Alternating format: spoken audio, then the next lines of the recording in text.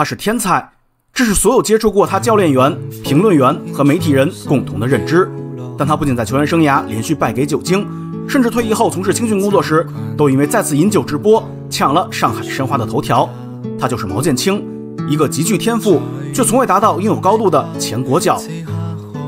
毛剑卿曾被认为是中国队锋线的希望，他速度快、爆发强、技术好，拥有一名前锋完美的身形和肌肉。二零零二年，十七岁的毛剑卿在亚青赛和世锦赛上收获了自己的进球，次年又一次完美试训，打动了荷甲费耶诺德。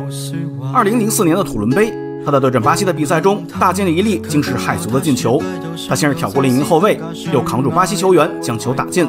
他扛住的后卫是未来马竞铁卫费利佩·路易斯，他挑过的是将效力于切尔西的阿莱士，洞穿的门将则是后来在西甲打了十年主力的迭戈·阿尔维斯。在那一刻，这些球星都成了毛剑卿的背景。中国国青也收获了第三名的佳绩。零四年的中国球迷是幸福的，因为那一年的土伦杯让很多球迷看到了希望。但国家队的高光并不能掩盖俱乐部频发的事端。二零零六年，上海申花时任主帅吴金贵的宝马被人踹坏。警方在调取鞋印后锁定了毛剑卿，而这还没完。二零零八年，毛剑卿在 KTV 与人斗殴，被刑事拘留七天。二零零九年，他又在短短一周内，先是从一线队被下放到预备队，再到预备队被停止训练资格，几乎以一种失重的速度完成了向下的三级跳。失去的负面终于让申花下定决心与这名天赋出众的攻击手分手。毛剑卿离开申花的时候不过二十四岁，随后几年，他辗转于陕西浐灞、杭州绿城。北京国安、青岛中能、石家庄永昌、上海申鑫，在这期间，他留下了两个被球迷津津乐道的进球。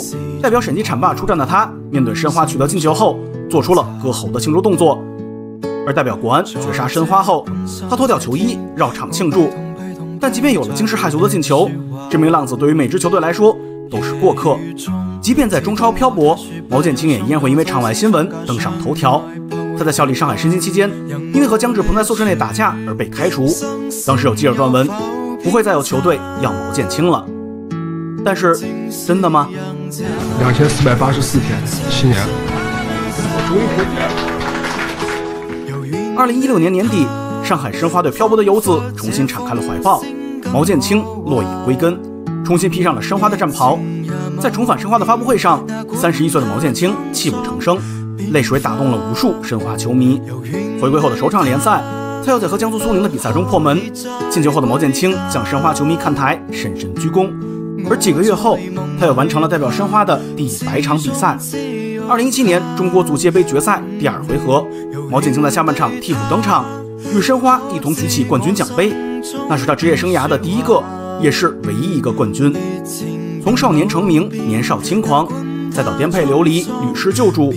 最后历尽千帆，兜兜转转，如愿回到申花夺冠退役，成为申花青训教练。如果没有这次直播事件，这本是足坛一个浪子回头的圆满故事。但如今只能让球迷摇头叹息。如果他不喝酒呢？但无论是人生还是比赛，都是没有如果的。